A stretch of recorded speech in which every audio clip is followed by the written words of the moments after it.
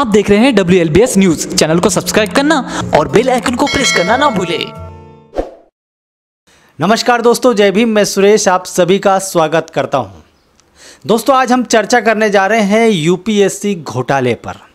दोस्तों, एक ऐसा घोटाला हुआ है जिस घोटाले का संबंध S C S T O B C से है।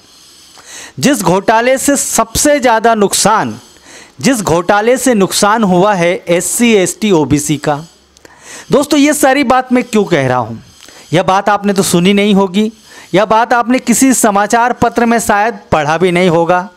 और ना ही जिस मनु स्ट्रीम मीडिया को आप देखते हैं, जिसे आप मेन स्ट्रीम समझते हैं, उस मेन स्ट्रीम मीडिया में आपको सुशांत सिंह दिखाया जा रहा है। मोदी जी नज़र आ रहे हैं या राम मंदिर का घंटा आपको नज़र आ रहा होगा। लेकिन आपके भविष्य के साथ जो खिलवाड़ चला आ रहा है या हो रहा है वो खबर आपको नहीं दिखाई जा रही है। वो खबर आज मैं आपको बताने जा रहा हूँ।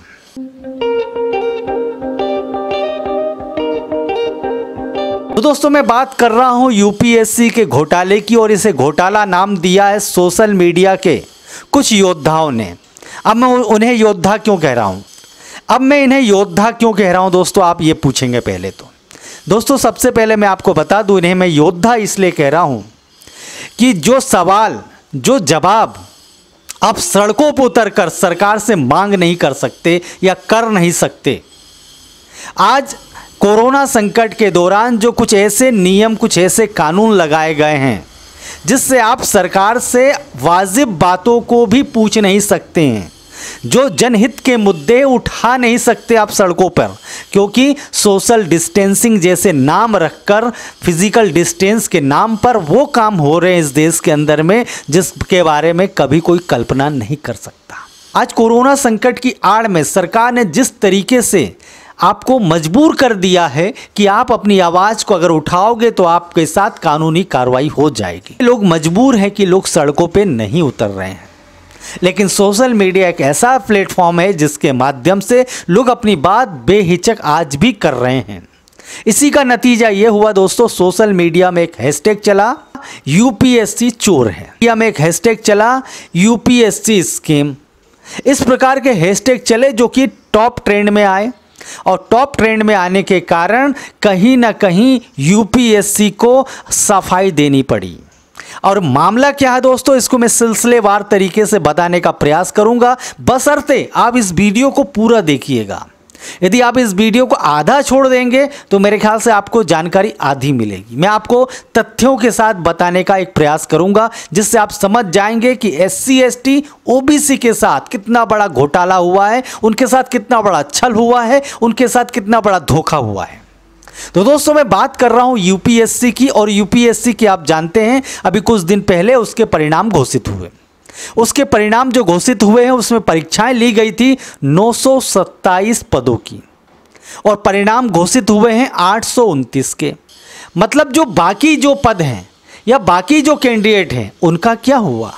कुछ इस मामले में कुछ ऐसे पेच भी सामने आए हैं, कुछ ऐसी बारीकियाँ, कुछ ऐसे लूप होल भी सामने आए हैं, जिसे देखकर, जानकर आपको लगेगा हाँ कुछ ना कुछ लफड़ा है, कुछ ना कुछ गड़बड़ ज़रूर है। मैं आपको बता दूँ एस सी के जो नंबर हैं, वो जो सवर्ण है, जिसे अभी सरकार ने कुछ ही दिनों पहले संविधान संशोधन करके ईडब्ल्यूएस की श्रेणी में दे दिया था, आर्थिक रूप से कमज़ोर वर्ग बना दिया था, उनके जो नंबर हैं एस सी के नंबर से भी कम नंबर आए हैं। मतलब एस सी के नंबर उनसे ज़्यादा नंबर हैं।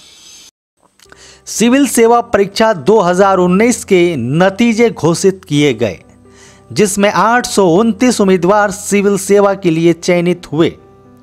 इसके बाद सोशल मीडिया पर नियुक्ति में धांधली किए जाने के आरोप लगने के बाद केंद्रीय लोक सेवा आयोग, यूपीएससी ने गुरुवार को अपनी सफ़ाई पेश की है। यूपीएससी ने कहा कि जिन उम्मीदवारों के नतीजे घोषित नहीं किए हैं, उनके नाम गोपनीय रखे गए हैं, ताकि आरक्षित वर्ग के उम्मीदवारों को फ़ायदा हो। लेकिन 4 अगस्त को आठ सौ उनतीस कैंडिडेट का ही रिज़ल्ट सामने आया। पूछा यह गया कि रिज़ल्ट 927 कैंडिडेट्स का ही क्यों नहीं घोषित किया गया? अंठानवे पदों को गोपनीय तरीके से क्यों भरा जा रहा है? सोशल मीडिया पर चले ट्रेंड में यह भी कहा गया कि सिविल सेवा के लिए S C S T O B C के अंठानवे उम्मीदवारों ने जनरल में जगह बनाई है और सरकार साजिशन उनको अनारक्षित सीट पर नहीं, बल्कि अपनी कैटेगरी में धकेल रही है। आरोप यह भी लगाया गया है कि सवर्णों को 50 प्रतिशत आरक्षण देने के लिए अंठानवे पदों की सूची गोपनीय रखी है। कहा गया है कि इस घोटाले में 80 प्रतिशत नुकसान ओबीसी का है। यूपीएससी से भयानक सूचना आ रही है। रिज़र्व लिस्ट और गोपनीयता के नियमों की वजह से ओबीसी के 1200 से ज़्यादा successful candidate IAS, IPS, IFS नहीं बन पाए। एससी एसटी का भी इस गलत नियम से बहुत नुकसान हुआ है। हैशटैग यूपीएससी स्कीम पर यूपीएससी यानी संघ लोक सेवा आयोग ने अब से थोड़ी देर पहले सफ़ाई दी है कि उसने कोई घोटाला नहीं किया है। आप यूपीएससी की प्रेस रिलीज़ पढ़िए। 927 के लिए परीक्षा होती है और सिर्फ़ आठ कैंडिडेट की लिस्ट जारी होती है। क्या छिपाया जा रहा है? यह बिल्कुल संतोषजनक नहीं है। सरकार जाँच बिठाए कि पिछले पाँच साल में S C S T O B C की कितनी सीटें सवर्णों को ट्रांसफ़र हुई है? यूपीएससी हज़ारों नियुक्ति में कभी एक या दो सब्ज़ी वाले के बेटे या बस कंडक्टर की बेटी का सिलेक्शन सिर्फ़ इसलिए कर लेता है ताकि उसके बड़े घोटाले छिपे रहे। सवर्ण गरीबों यानी ईडब्ल्यूएस को दोनों लिखित परीक्षाओं में एस सी से कम नंबर मिले। लेकिन इंटरव्यू में उन्हें ज़्यादा नंबर देकर एस सी से ऊपर कर दिया गया है। ये घोटाला है। सीटों की चोरी है। हमारी एक मासूम सी मांग है। यूपीएससी हर कैंडिडेट के रिटेन और इंटरव्यू के नंबर अपने वेबसाइट पर डाले। क्या आप सहमत हैं? ट्वीट करके बताइए। यूपीएससी बेमानी बंद करे। पिछले 10 साल के हर कैंडिडेट का रिटर्न और इंटरव्यू का नंबर यूपीएससी की वेबसाइट पर अपलोड हो। अब से हर इंटरव्यू को सार्वजनिक लाइव किया जाए। 10 साल की रिज़र्व लिस्ट का पूरा हिसाब दिया जाए। यूपीएससी साबित करे कि reserve list upper caste list नहीं है।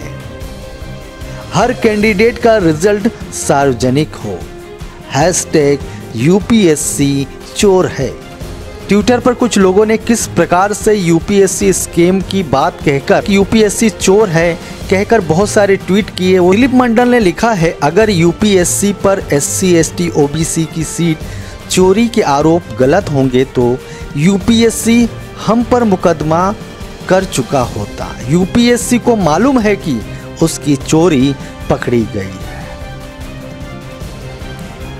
जन अधिकार पार्टी ने भी एक ट्वीट किया है। उनका ट्वीट है यूपीएससी एससी एसटी ओबीसी को इंटरव्यू में कम नंबर दे रहा है। इसलिए सारे कैंडिडेट के रिटर्न और इंटरव्यू के नंबर सार्वजनिक नहीं किए जाते हैं। सारी गोपनीयता चोरी छुपाने के लिए है। आरटीआई में भी ये सूचनाएँ नहीं दी जाती है।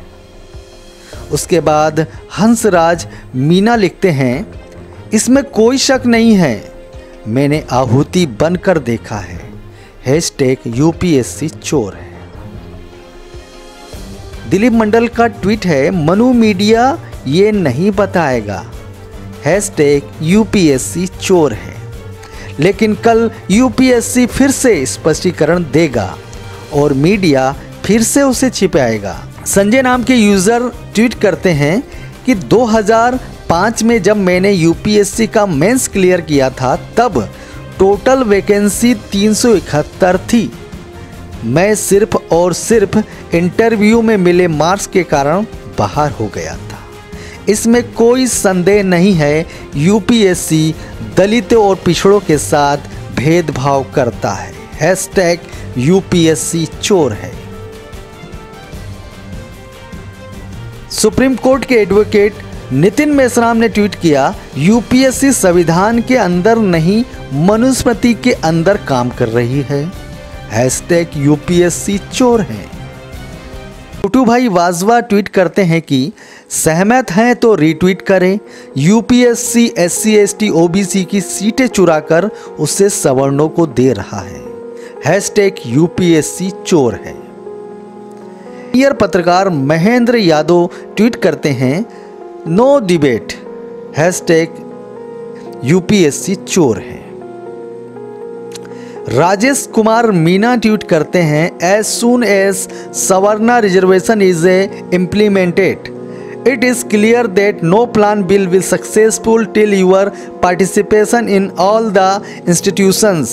Now take obc reservation as of now 27 quota is also not applicable at university level hashtag upsc चोर है यूपीएससी कह रहा है कि ये सब तो 10 वर्षों से चला आ रहा है आप अभी क्यों बोल रहे हैं असल क्या है कि हम सो रहे थे अभी नींद खुली है